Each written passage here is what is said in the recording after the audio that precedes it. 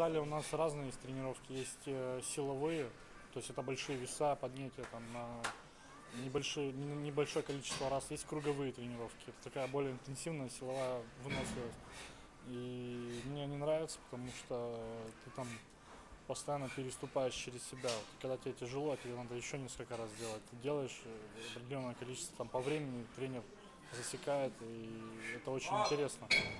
А, Ну и силовые тренировки тоже интересно по-своему, потому что ты проверяешь показатель силы и вообще на что, что ты наработал в зале, есть ли прогресс у тебя, это очень интересно.